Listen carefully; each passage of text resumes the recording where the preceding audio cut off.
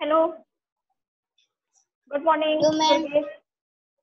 आवाज़ good morning ma'am good morning yes ma'am हाँ तो हिंदी की बुक निकाल लो literature yes ma'am first second chapter हमने कंप्लीट करा दिया था। क्यों? करा दिए थे फ़र्स्ट सेकंड पोयम थी और सेकंड चैप्टर स्टोरी थी।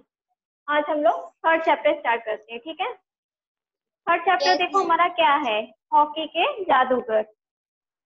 इसमें क्या बताया है जो मेजर ध्यानचंद हैं वो हॉकी के उन्हें जादूगर कहा गया है। तो जो ये स्टोरी है वो पूरी मेजर ध्यानचंद पे वो है आधारित है। इसमें बताया गया है कि हॉकी क्या है कैसे खेला जाता है और मेजर ध्यानचंद के बारे में भी इसमें बताया गया। ठीक है? यस मैम हम पढ़ते स्टार्ट करते हैं। आप देखिए ठीक है? भारतीय हॉकी के प्रसिद्ध खिलाड़ी मेजर ध्यानचंद का जन्म 29 अगस्त 1905 को प्रयाग में हुआ था। उनके पिता ब्रिटिश ब्रिटिश इंडियन आर्मी में हवलदार थे। उनके पिता कहाँ थे? ब्रिटिश इंडिया में आर्मी में हवलदार थे। 16 वर्ष की आयु में वे फौज में चले गए। उनकी जब आयु 16 वर्ष की हुई थी उन्होंने क्या किया था? वो फौज में चले गए थे। वहीं Yes, पर उनके खेल जीवन की शुरुआत हुई। अब जब वो फौज में चले गए थे वहीं से उनके खेल जीवन की शुरुआत हुई। उन्होंने ओलंपिक खेलों में भारत को पहली बार हॉकी के खेल में स्वर्ण पदक दिलाया था। क्या किया था उन्होंने? जब ओलंपिक खेल हुआ था तो भारत को पहली बार हॉकी खेल में स्वर्ण पदक दिलाया था। आज तक भारत ने हॉकी में कुल मिलाकर आठ स्वर्ण पदक जीते हैं। मेजर ध्यानचंद बहुमुखी प्रतिभा के धनी थे। मेजर ध्यानचंद जी कैसे थे? वो बहुमुखी प्रतिभा वाले थे। भारत को हॉकी के खेल में सर्वोच्च शिखर पर पहुँचाने वाले वे एकमात्र खिलाड़ी थे। वो क्या था? भारत को वो सर्वोच्च शिखर पर पहुँचाए थे हॉकी के खेल में। मेजर ध्यानचंद को हॉकी का जादूगर भी कहा जाता है। इनको और किस नाम से भी जाना जाता है? हॉकी का जादूगर। बर्लिन ओलंपिक से पहले डाउनटाउन के टूर पर भारतीय टीम ने 48 मैचों में पाँच गोल किए, जिनमें से मेजर ध्यानचंद ने 200 गोल किए थे। क्या हुआ था? दो सौ गोल किए थे। हाँ 200 गोल किए थे। मेजर ध्यानचंद और हॉकी के मैच से संबंधित बहुत सारी अविस्मरणीय घटनाएँ हुई थी। क्या हुआ था? उनके मेजर ध्यानचंद और हॉकी के मैच से क्या हुआ था? उनकी सारी संबंधित घटनाएँ अविस्मरणीय है मतलब उससे स्मरण नहीं किया जाता ठीक है? मैम एक एक बार हॉकी के मैच में उनका, देखो अभी इनका क्या कहानी है आगे स्टोरी क्या कहती है? एक बार हॉकी के एक मैच में उनका जूता टूट गया था। वे अपने जूतों को उतार कर नंगे पैर ही मैच खेलने के लिए मैदान में उतर के, क्या हुआ था? उनका जूता जब टूट गया था, वो नंगे पैर ही बिना जूता के ही वह मैच खेलने मैदान में उतर गए। यह देख यस दर्शकगण जो दर्शकगण किसे कहा गया यहाँ पे? जो पब्लिक होती जो लोग मैच देखने आते हैं। दर्शकगण मंत्र मुग्ध हो गए थे। उनके ऊपर मंत्र मुग्ध हो गए थे कि वो बिना जूता के मैच में खेलने उतर गए। जर्मनी में आयोजित एक मैच में खेल के दौरान ही उनकी हॉकी स्टिक की जाँच की गई थी क्या हुआ था जर्मनी में? जो आयोजित किया गया था मैच, उसमें खेल के दौरान ही उनकी हॉकी की जाँच की गई थी कि कहीं इसमें कोई चुंबक या कोई चिपकने वाले पदार्थ तो नहीं लगा। मतलब ये कहा गया था कि वो हर बार जीत जाते हैं तो कहीं इसमें कुछ है तो नहीं? कोई चुंबक तो नहीं है? या चिपकने वाला कोई पदार्थ लिक्विड तो नहीं है? मगर उनके स्टिक में ऐसा कुछ भी नहीं आता जब चेक होता है तो उनको क्या होता है? उनके स्टिक में ऐसा कुछ भी नहीं मिलता है। खेल के दौरान भी कई बार उनके स्टिक बदलवाई गई क्या होता था कि जब ध्यानचंद खेलने आते थे, उनके हर बार स्टिक बदलवाई जाती थी, क्योंकि ये लगता था लोगों को कि इनकी स्टिक में ही कुछ ऐसा है जो ये हर बार जीत जाते हैं। लेकिन जब जब तक कराया जाता तो क्या मिलता है? कुछ नहीं मिलता था। फिर आगे क्या कहता है? परंतु तब भी मेजर ध्यानचंद ने उसी विलक्षण प्रतिभा के साथ हॉकी के मैच में भारत को जीत दिलाई। क्या होता है कि जब उसका वो हो जाता है क्या कहते हैं चेक हो जाती है कि हॉकी में कुछ है तो नहीं या कुछ लगा तो नहीं है तो पता चलता है कुछ नहीं रहता है लेकिन फिर भी वो हॉकी जब खेलते हैं तो वो जीत जाते हैं। ठीक है यहाँ तक yes. समझ में आया? यस मैम ठीक आगे क्या कह रहा है? उनका निधन तीन दिसंबर उन्नीस सौ नवासी को हुआ था। उनका निधन कब हुआ था? उन्नीस सौ नासी न्यासी को, ठीक? भारत सरकार ने उनके सम्मान में क्या किया था? भारत सरकार ने उनके सम्मान में डाक टिकट जारी किए। इनकी याद में उन्होंने क्या किया था? डाक टिकट जारी किया था। उनके जन्मदिन 29 अगस्त को भारत में राष्ट्रीय खेल दिवस के रूप में मनाया जाता है। क्या होता है इस दिन? उनतीस अगस्त को क्या होता है? भारत में राष्ट्रीय खेल दिवस मनाया जाता है। बियाना ने ध्यानचंद की चार हाथों में हॉकी लिए हुए भी एक मूर्ति स्थापित की गई। क्या है? कि जो बियाना एक जगह है, वहाँ पे ध्यानचंद की चार हाथों में हॉकी लिए हुई मूर्ति भी स्थापित की गई है। मेजर ध्यानचंद का स्वभाव गंभीर और सत्यनिष्ठ था। मेजर ध्यानचंद जी का स्वभाव कैसा था? निर्मल, कोमल था और सत्यनिष्ठ मतलब ईमानदार थे। वो अपने काम के प्रति ईमानदार थे। वे अपने खेल के प्रति अत्यंत समर्पित थे। वो क्या करते थे? जब वो खेल खेलते थे, वो हमेशा अपने खेल के लिए समर्पित रहते थे। वे हॉकी के खेल में हमारे देश के, देश का गौरव और प्रतिष्ठा की प्रतीक माना जाता है। क्या है यहाँ पे? जो हमारे देश का खेल है हॉकी वो देश का गौरव और प्रतिष्ठा के रूप में इनको जाना जाता है। समझ में आ गया ये चैप्टर यस मैम अच्छा बताओ। क्वेश्चन पूछे? दुर्गेश? यस क्वेश्चन पूछे? ठीक है बताओ हॉकी का जादूगर किसे कहा गया है? मेजर ध्यानचंद मेजर ध्यानचंद को हॉकी का जादूगर कहा गया है। इनका जन्म कब हुआ था? इनका जन्म कब हुआ था? नहीं पता। no, कब। इनका जन्म 29 अगस्त 1905 में हुआ था। सन क्या है? 1905 में। ठीक? यस yes, हाँ राष्ट्रीय खेल दिवस कब होता है? राष्ट्रीय खेल दिवस कब मनाते हैं हम लोग? राष्ट्रीय खेल दिवस। हम्म।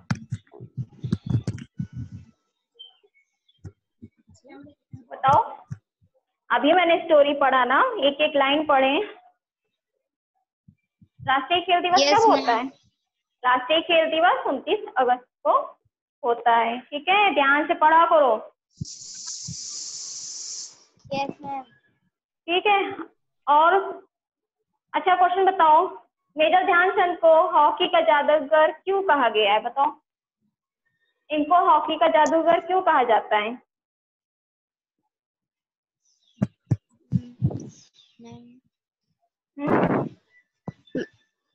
बोलो नहीं समझ में आई ये स्टोरी मैम आई है। आई है ना समझ में तो फिर बताओ मेरे क्वेश्चन का जवाब दो। इनको क्यों कहा गया था? मेजर ध्यानचंद को हॉकी का जादूगर क्यों कहा जाता है? नहीं पता दुर्गेश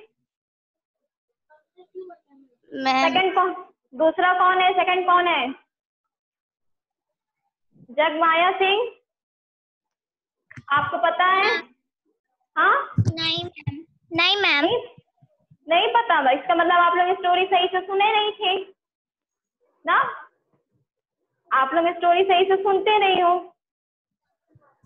मेजर ध्यानचंद को हॉकी का जादूगर इसलिए कहा गया था क्योंकि ओलंपिक खेल में इन्होंने स्वर्ण पदक भारत को दिलाया था। समझ में आया यस क्यों? मैम इन्होंने क्या किया था? मेजर ध्यानचंद ने इन्होंने भारत को भारत। भारत को ओलंपिक में स्वर्ण पदक दिलाया था। इनको इसीलिए तब से क्या कहने जा, जाने लगा? मेजर ध्यानचंद। ठीक? यस मैम अच्छा नेक्स्ट क्वेश्चन है। जर्मनी में उनकी स्टिक की जाँच क्यों की गई थी? बताओ। मैम की क्यों की गई थी जर्मनी में स्टिक की जाँच?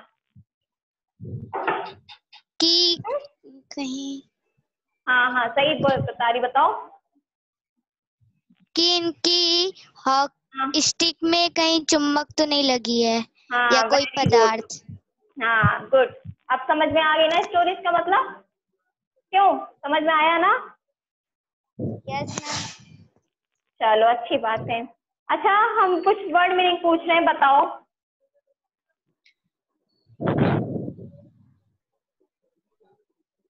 स्वर्ण का मतलब क्या होता है बताओ। स्वर्ण मीन्स क्या होता है? बताओ। जगमाया। दुर्गेश, बताओ स्वर्ण मीन्स क्या होता है? नहीं पता किसी को? स्वर्ण मीन्स होता है सोना। या कनक।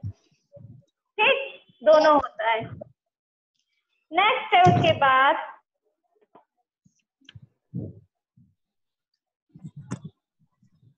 फिर उसके बाद है।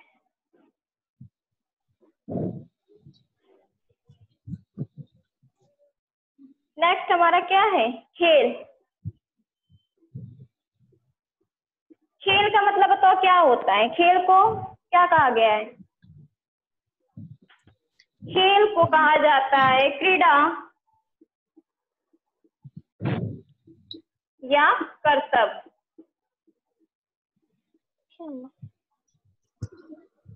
समझ में आया?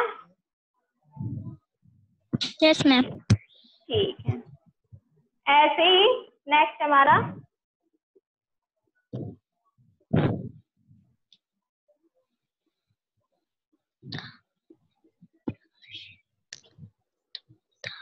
विख्यात या मशहूर मतलब फ़ेमस जिसे नहीं कहा जाता है।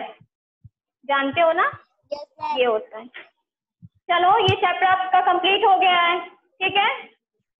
Yes ma'am Durgesh Jagmaya yes chapter आप लोगों का कंप्लीट हो गया है। नेक्स्ट चैप्टर इसके क्वेश्चन से कर लेना ठीक है? यस आज की डेट में ये क्वेश्चन डाल कर लेना। नेक्स्ट चैप्टर हम लोग पढ़ते हैं। Chapter number four Rani. क्या है हमारा chapter number four Rani Lakshmibai. Rani Lakshmi Bai. चलो आज हम इनके बारे में पढ़ते हैं कि कि कौन थी ये रानी लक्ष्मीबाई ठीक स्टार्ट करें? Yes okay. और अक्की हम Yes, स्टार्ट करते हैं। अब जो पूछेंगे बताना ठीक है? मैम समझ में आ रहा है? हाँ ध्यान से पढ़िएगा। देखिएगा हम जो जो पढ़ते एक एक लाइन हम पढ़ रहे हैं उसे समझिएगा ठीक है? स्टार्ट करें? यस मैम रानी लक्ष्मीबाई का जन्म 18 नवंबर 1835 में वाराणसी में भागीरथी बाई और भागीरथी रथी बाई अमरोपंत नामक एक महाराष्ट्रीय ब्राह्मण के यहाँ हुआ था। उन्होंने उसका नाम मनु रखा था। किसका नाम मनु रखा था? रानी लक्ष्मीबाई का। हाँ रानी लक्ष्मी का भाई बचपन का क्या था? मनु था। वहाँ एक स्वस्थ और सुंदर बालिका थी। वहाँ कैसी बालिका थी, एक सुंदर और अच्छी बालिका थी। माता के स्वर्गवास के बाद उनके पिता का मोरोपंत बाजीराव के पास आ गए। पेशावा बाजीराव मनु को बहुत प्यार करते थे।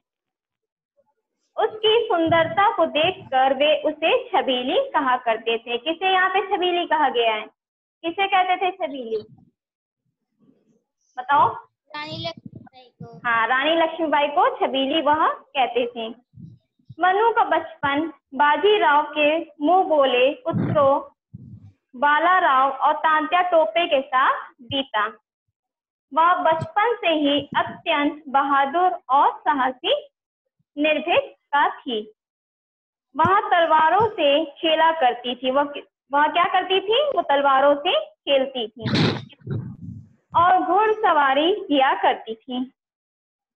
मात्र तेरह वर्ष की आयु में आयु में उनका विवाह झांसी के राजा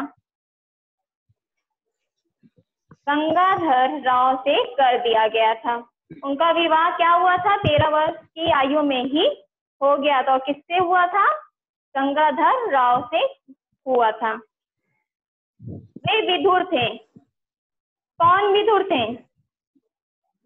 बताओ। राजा। हाँ राजा गंगाधर राव विधुर थे। विधुर मीन्स होता है जिसकी वाइफ मर जाती है। डेथ हो जाती है उन्हें विधुर कहा गया है। और उनकी कोई संतान नहीं थी। उनके पति ने उनको लक्ष्मीबाई नाम दिया था। जो रानी लक्ष्मीबाई का नाम था, लक्ष्मीबाई जो आगे ऐड हुआ है, वो कौन दिया था उनका नाम ये? उनके पति ने दिया था। सोलह वर्ष की आयु में उन्होंने एक पुत्र को जन्म दिया। रानी लक्ष्मीबाई ने क्या हुआ? उन्होंने सोलह वर्ष की आयु में एक पुत्र को जन्म दिया था। अपने उत्तराधिकारी को पाकर सारा झांसी खुशी से झूम उठा। जब उनका पुत्र आ गया था तो सारा झांसी क्या हुआ था? खुशी से झूम उठा था। दुर्भाग्यवश, मात्र तीन महीने के बाद उनके पुत्र का देहांत हो गया था। क्या हुआ था? उनके बेटे की मृत्यु तीन महीने बाद हो गई थी। राजा गंगाधर राव इस दुख को सहन नहीं कर पाए। क्या हुआ था इसमें? गंगाधर राव अपने पुत्र को खो देने के बाद वो इस दुख को नहीं सह पा रहे थे और वहाँ बीमार पड़ गए। उन्होंने क्या किया? वो बीमार होते चले गए। झांसी की गद्दी का वारिस प्राण न रहने पर अंग्रेज़ उसे हड़प जाएँगे। यह सोचकर महाराज ने अपने ही वंश के एक बालक को गोद ले लिया। क्या हुआ था कि वह ये सोच रहे थे कि अगर हमारा यहाँ पुत्र नहीं होगा, हमारा कोई वारिस नहीं होगा तो अंग्रेज़ क्या करेंगे? उनकी राजगद्दी को छीन लेंगे, उनको हड़प लेंगे। यह सोचकर महाराज ने क्या किया? अपने ही वंश के मतलब अपने ही कुल के एक बालक को गोद ले लिया। बालक का नाम रखा गया दामोदर राव गंगाधर राव। इनका जो बालक को गोद लिए थे, उनका क्या नाम था? दामोदर राव गंगाधर राव, पूरा नाम था उनका। कुछ समय बाद गंगाधर राव भी परलोक सिधार गए। क्या हुआ था? रानी लक्ष्मीबाई के जो पति थे गंगाधर राव, वो कुछ समय बाद उनकी मृत्यु हो गई थी। और लक्ष्मीबाई छोटी सी अवस्था में विधवा हो गई थी। क्या हुआ था? उनकी कम आयु में ही वह, जब उनके पति की मृत्यु हो जाती तो वो विधवा हो गई थी। महाराज का देहांत होते ही अंग्रेज़ों को झांसी पर अधिकार करने का अवसर मिल गया था। क्या हुआ था महाराज जी की जब गंगाधर राव की जब मृत्यु हो जाती है तो अंग्रेज़ों को झांसी पर अधिकार करने का अवसर मिल जाता है। उन्होंने महाराज द्वारा गोद लिए बालक को उनका वारिस स्वीकार नहीं किया। अंग्रेज़ों ने क्या कहा कि जो ये बालक गोद लिया गया है, मैं इसे स्वीकार नहीं करूँगा और झांसी को अपने राज में मिला लिया। क्या और अंग्रेज़ों ने जो झांसी थी एक जिला था राज था, उन्हें क्या किया? अपने ही राज में मिला लिया। सन अठारह में देश में जगह जगह विद्रोह शुरू हो गया। क्या हुआ था? अठारह में देश में जगह जगह विद्रोह होना शुरू हुआ। कानपुर में विद्रोहियों का बड़ा ज़ोर था। क्या हुआ था? कानपुर में जो विद्रोही था, उनका बहुत ही ज़ोर था। नाना साहब उनके नेता थे। वहाँ के जो नेता थे, उनका नाम था नाना साहब। कानपुर से विद्रोह की लहरें झांसी तक जा पहुँची।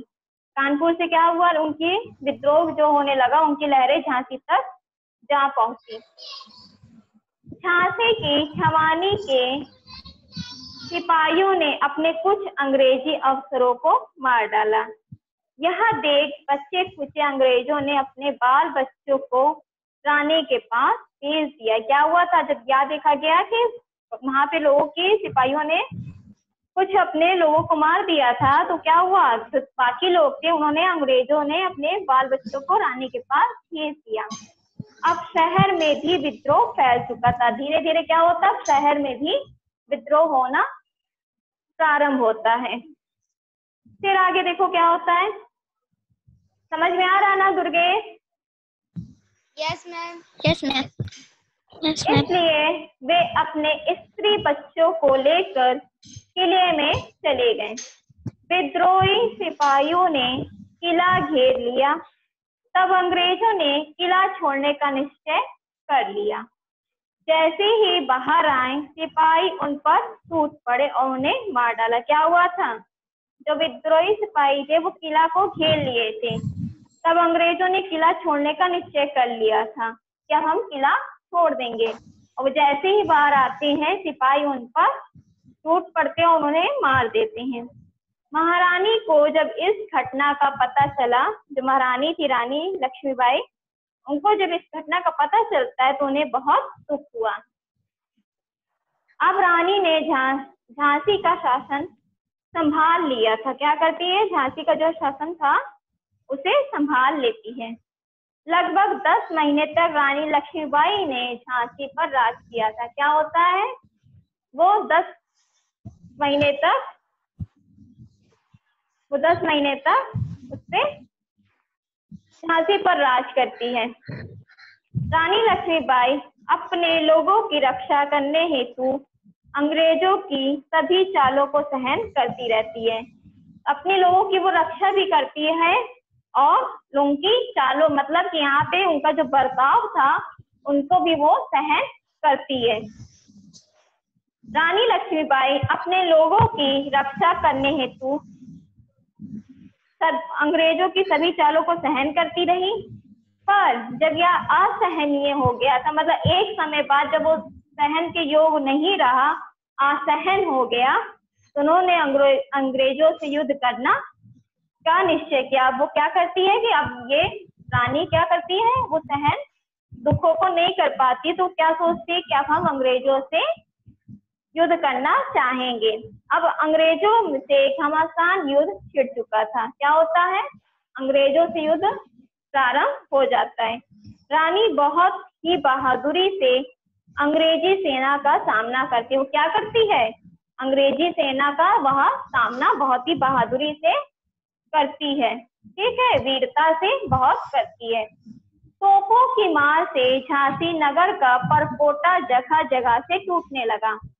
रानी पूरे बारह दिन तक साहस के साथ उनका सामना करती रही। अंत में अंग्रेज़ी सेना झांसी में घुस पड़े। उसने लूटपाट और मारकाट मचा दी। अंत में क्या होता अंग्रेज़ जो थे, वो सेना के अंदर घुस जाते हैं और लूटपाट मचाना शुरू कर देती। हैं अब रानी ने किला छोड़ने का निश्चय कर लिया था। एक समय बाद रानी क्या करती? किला छोड़ने का निश्चय कर लेती है। उन्होंने बालक दामोदर राव को पीठ पर बांधा। दामोदर राव क्या था? उनका पुत्र था। उनको अपने पीठ पर बैठाती है, बांधती है और अपने कुछ साहसी सैनिकों के साथ अंग्रेज़ी फौज को फौज को चीरती हुई किले से बाहर निकल गई। अंग्रेज़ सैनिकों ने आश्चर्य से देखते रह गए। क्या करते हैं सैनिक? आश्चर्य से उसे देखते रह जाते हैं।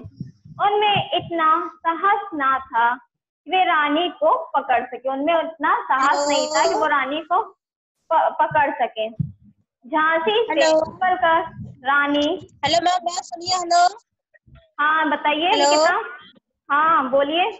ये कौन सी बुक है? ये हिंदी लिटरेचर की बुक है बेटा।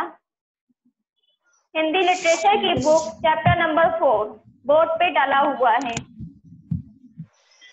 झांसी से निकलकर पेज नंबर ट्वेंटी पे हम पढ़ रहे हैं ठीक है?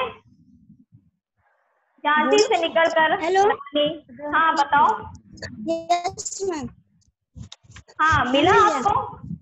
Chapter number four page number twenty paragraph third वाला पढ़ रहे हैं। ऊपर से थर्ड पैराग्राफ है वो हम पढ़ रहे हैं।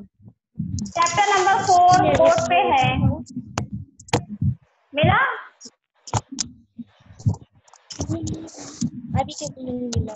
हेलो हाँ बताइए। कौन सी बुक है? हाँ हिंदी लिटरेचर की बुक है आपकी। हिंदी लिटरेचर की बुक है आपकी? नहीं है। हाँ? मैम उसमें नहीं है। हिंदी लिटरेचर की बुक नहीं है आपके पास? आप किस क्लास में पहले ये बताओ। मैम बुक है। हाँ तो? मैम फाइव हाँ? मैम फाइव फोर्थ ना? फोर्थ क्लास की हो ना? हेलो हाँ। हेलो हाँ बताओ सुन रहे हैं मैम फाइव क्लास में। हाँ? मैम फाइव क्लास में। बेटा ये फ़र्स्ट की क्लास नहीं है। फ़र्स्ट क्लास की क्लास नहीं है बेटा ये फोर्थ क्लास की है। ठीक है? हेलो हाँ। सॉरी मैम हम्म। झांसी से निकल कर रानी कल्पी पहुँची। कल्पी में रावा साहब और तात्या टोपे एक बड़ी भारी सेना के साथ डेरा डाले हुए थे। रानी का पीछा करते हुए हुए राज भी कालपी पहुँचा था।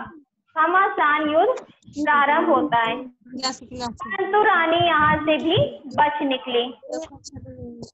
अब राव साहब और रानी गवालियर की ओर चल दिए। तात्या टोपे ने पहले से ही गवा- गवालियर की फौज को अपनी ओर मिला लिया था। इसलिए साधारण सी लड़ाई के बाद उन्होंने ग्वालियर के किले पर अधिकार कर लिया। किंतु ये लोग अभी सांस भी नहीं ले पाए थे कि कोई राज की फौज ने ग्वालियर को भी घेरा। रानी शत्रुओं पर टूट पड़ी। क्या करती रानी? शत्रु जो थे उनकी विद्रोही थे जो उन पर टूट पड़ती है। राव साहब और तात्या टोपे दूसरे मोर्चे पर लड़ रहे थे। रानी चाहती थी कि सब मिलकर अंग्रेज़ों के मोर्चों को उखाड़ दें। इसलिए वे अंग्रेज़ी सेना को चीरती हुई आगे बढ़ी। लेकिन कुछ अंग्रेज़ सिपाहियों ने उन्हें आ घेरा। इसलिए वे अंग्रेज़ी सेना को चीरती हुई आगे बढ़ी। लेकिन कुछ अंग्रेज़ सिपाहियों ने उन्हें घेरा। दोनों पक्षों में घमासान लड़ाई प्रारंभ हो गई। रानी के साथ साथ एक एक करके गिरने लगे। रानी के जो साथी थे, वो एक एक करके मरने लगे।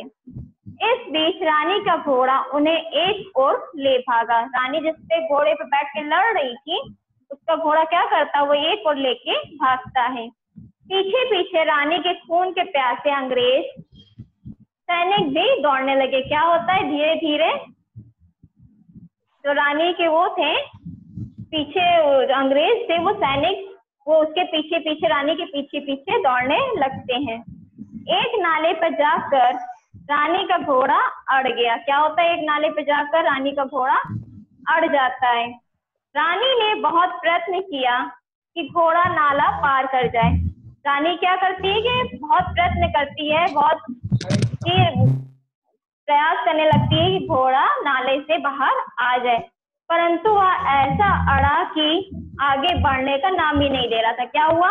वह एक वो उस नाले में ऐसा ही अट गया था कि वो उससे बाहर निकलने का नाम ही नहीं लिया। इतने में ही अंग्रेज़ सैनिक ने रानी को आ घेरा क्या होता है इतने में ही? जो अंग्रेज़ थे वो सैनिक को घेर लेते हैं। उसने रानी के सिर पर वार किया। क्या करते उन्होंने? रानी के हाँ बताओ। मैम आप फोर्थ क्लास का पढ़ा रही हैं? हाँ बेटा हम फोर्थ क्लास का पढ़ा रहे हैं। उसने रानी के सिर पर वार किया। इससे रानी के सिर और एक आँख पर घातक थर्ड चोट क्लास का कब होता है? रानी के सिर थर्ड क्लास का- थर्ड क्लास की टाइमिंग है बेटा। हाँ सुनो थर्ड क्लास की टाइमिंग है नौ बजे से नौ से साढ़े नौ तक। थर्ड क्लास रहती है, ठीक है? आप कल ज्वाइन कीजिएगा नौ बजे। इससे रानी के सिर और एक आँख पर घातक चोट आई। रानी के सेवक उस अंग्रेज़ सैनिक को एक ही बार में समाप्त कर दिया। जो रानी के जो सेवक थे, उस अंग्रेज़, जो रानी के जो और भी लोग थे, सैनिक थे, वो अंग्रेज़ अंग्रेज़ सैनिक को एक ही बार में समाप्त कर देते हैं। रानी ने उस सेवक से कहा देखना। शत्रु मेरे शरीर को हाथ ना लगा पाए। रानी, जब उसका अंत होता है रानी का तो वो कहती अपने सेवक से कि कोई भी अंग्रेज़ मेरे शरीर को हाथ नहीं लगाएगा। अपने अंत समय में उन्होंने ओम नमः शिवाय कहा और अपने आखिरी शब्द में उन्होंने कहा, नैनम दहती पावका। नैनम दहती पावका का अर्थ होता है, अग्नि आत्मा को नहीं जलाती। इसका क्या अर्थ होता है?